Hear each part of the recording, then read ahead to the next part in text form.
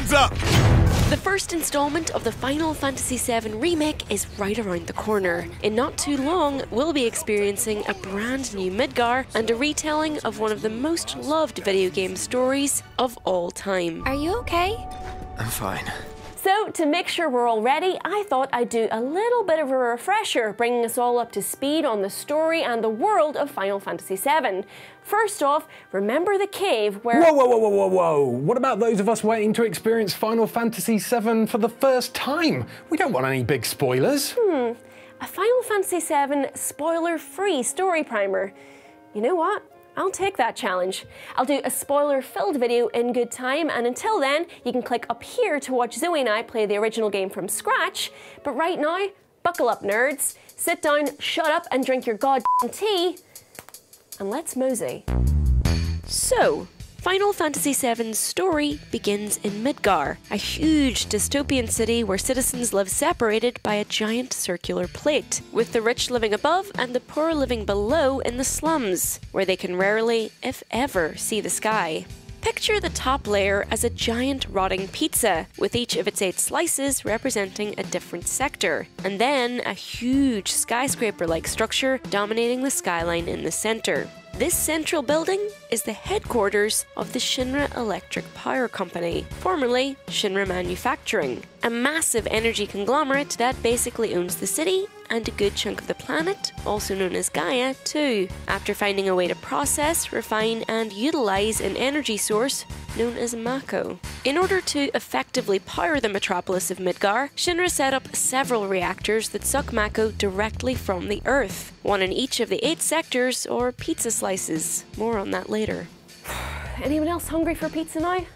Just me? Nah, me too damn delicious looking dystopia. Anyway, Shinra's monopoly on Mako energy and its subsequent and seemingly unlimited supply of money means the company is able to expand and experiment on many different fronts. From vehicle and weapons manufacturing and space exploration, all the way to genetic engineering. It sets up Mako reactors in different locations across the world, and it's also able to refine and crystallize Mako energy into materia, small orbs of varying colors that allow those wielding them to cast and use magic. Although materia can occur naturally in various springs found throughout Gaia, this process can take centuries. And so, Shinra scientists found a way to speed up the process and mass produce materia instead. As Shinra's chokehold on the world grew stronger every day, very few people were willing or able to stand up to the increasingly corrupt company and halt its literal world domination. One exception was the proud and independent nation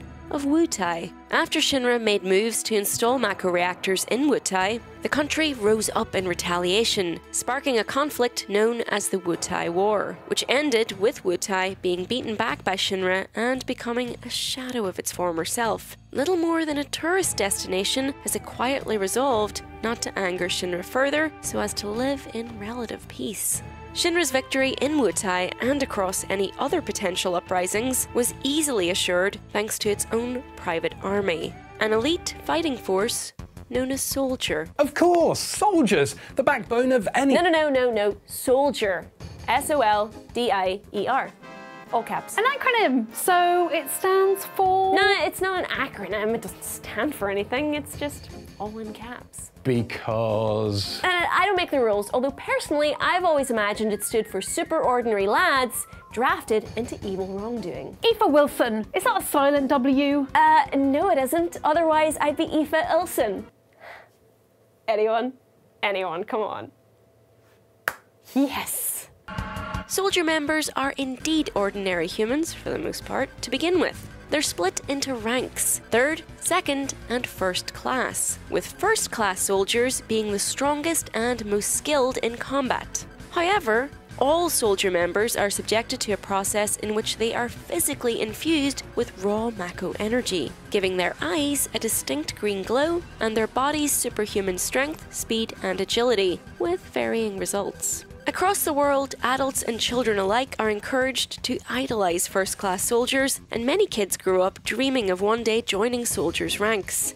Since the unit's inception, there have been a handful of legendary first class soldiers, the best among these being Sephiroth. the strongest and most famous soldier member ever known due to his prominent role in winning the Wutai War. Other first class soldiers include Genesis Rhapsodos, a man obsessed with apples and the play Loveless, whose goal is to become as famous as Sephiroth. There's also Angeal Hewley, who prides humility and honour above all else and who takes dignity in his work, and Angeal's protege, Zack Fair, an excitable and friendly young man from Gongaga who, like so many others who grew up dreaming of being a soldier, wishes to prove himself a hero. After the war in Wutai, Genesis takes his resolution of eclipsing Sephiroth's fame way too far, defecting from Soldier and Shinra with a scientist named Hollander in order to create an army of even more advanced soldiers to prove himself more powerful.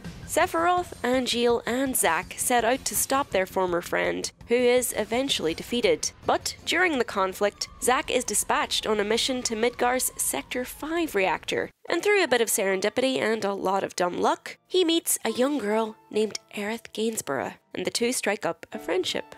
And you might want to remember that name because Aerith is rather important. I'm sure I heard someone say her name was Aeris. Well, yes and no.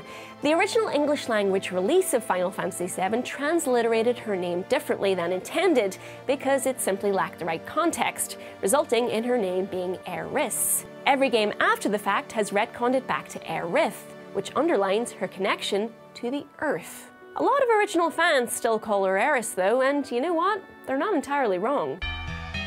Aerith is an ancient, so also known as a Cetra, and she's the very last of her kind. The Cetra are a race of people deeply spiritual in nature who can directly communicate with the planet and are pretty much identical to regular humans. In fact, humans are actually distant descendants of Cetra who lost their ability to speak with the planet over the millennia. The Cetra people are skilled at cultivating and encouraging life, which is possibly why flowers have no difficulty blooming wherever Aerith is. Ages passed, the Cetra took on the responsibility of caring for the planet, and because of their affinity with the Earth's energy, which they called the life stream or spirit energy, they could use magic inherently. The Cetra were a nomadic people. They would travel around the planet, healing and helping the natural world to flourish, and then move on to another location. They did this in order to fulfill an ancient prophecy about a promised land, which stated that they would find and return to this mysterious and mystical place at their journey's end, a place of happiness, and it was theorized, of infinite Mako energy. Because of whispers of the Cetra legend passed down over the millennia, Shinra would devote huge amounts of time and money into attempts to find this promised land and thus harness the endless amounts of Mako energy found within.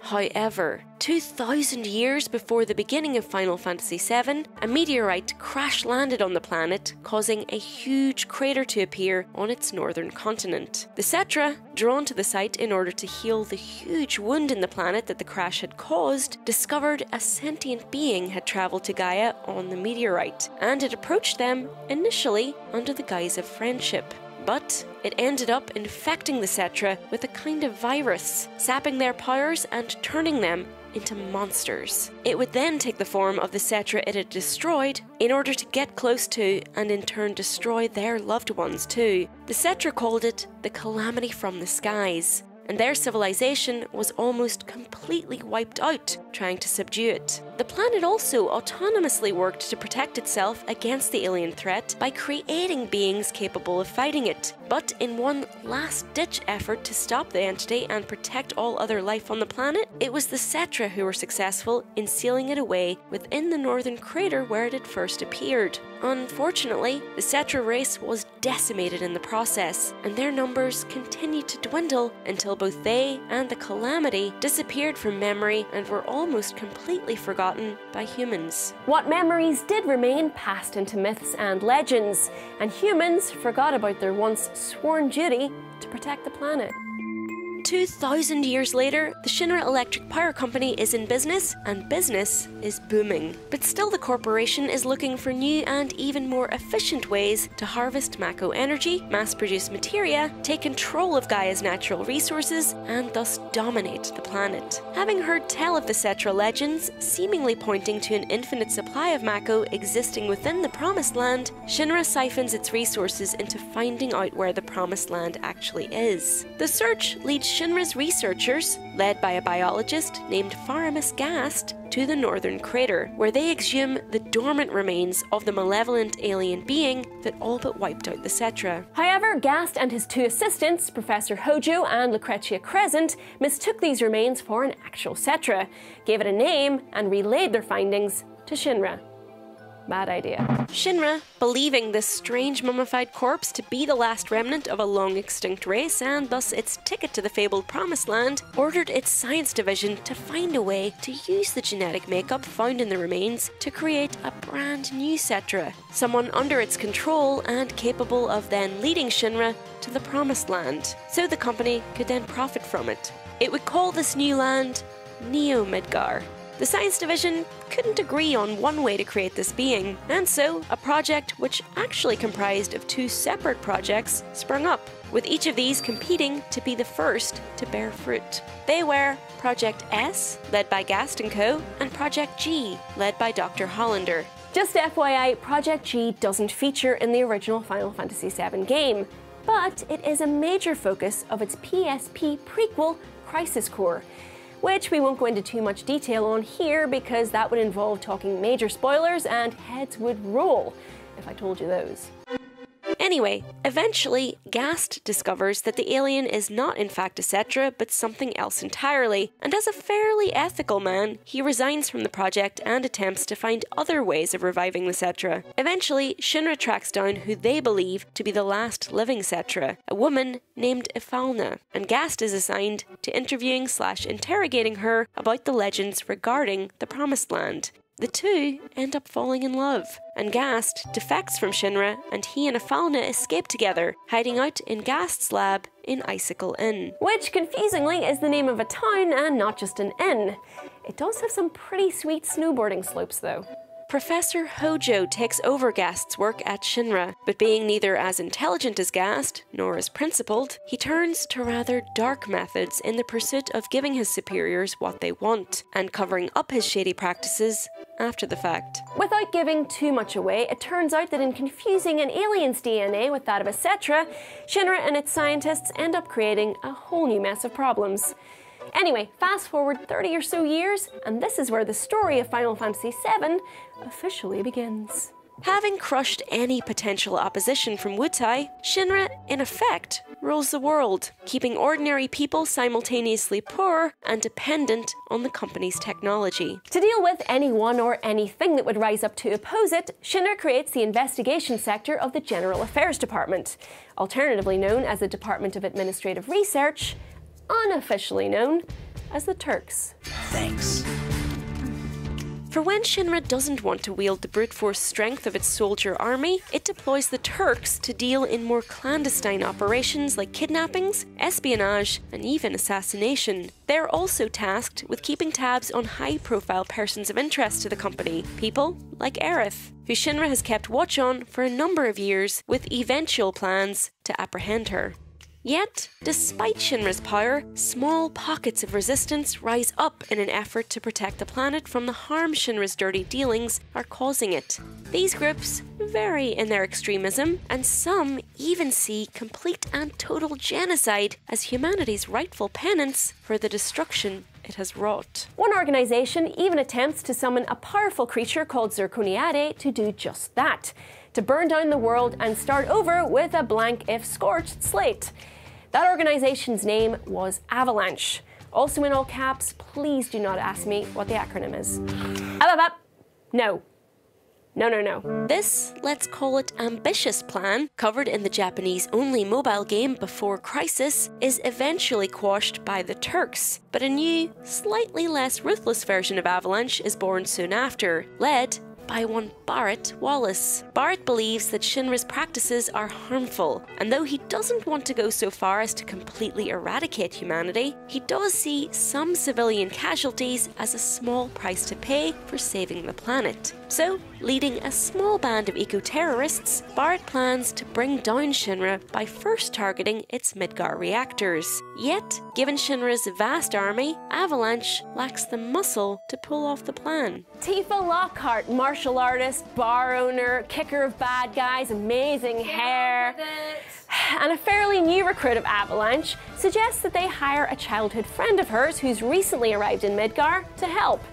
That person also happens to be a skilled mercenary and also happens to be a former member of Soldier. That friend's name is Cloud Strife. Cue hero shot. So, Clyde Co. rolling into the Sector 1 reactor of Midgar is the very first scene of the game, and that's pretty much all you need to get started. Does it all make sense? There's obviously so much more that we haven't covered, and tons of secondary stories that all feed into a greater understanding of the main plot. And even today, people still debate certain plot points and what they really mean. It'll be fun to see if and how any of it is updated with the remake. The main takeaways are that the planet needs help. Hello, 2020 relevance. Evil Company is evil. Tifa and Aerith are best girls. And there are tons of twists and turns. Sorry, I was still really hungry for pizza. That you just won't see coming. I just want the big sword. Hey, that's the Buster Sword Buster, and you put some respect on its name. Anyway, subscribe to stay tuned for lots more Final Fantasy VII coverage, including a spoiler filled video coming soon. Be sure to subscribe to Eurogamer for a brand new gaming video every single day. If you're into that sort of thing. And click the bell icon to be notified when a new video goes live. Oh, I've eaten so much pizza. There ain't no getting off of this train we're on. We'll see you in Midgar.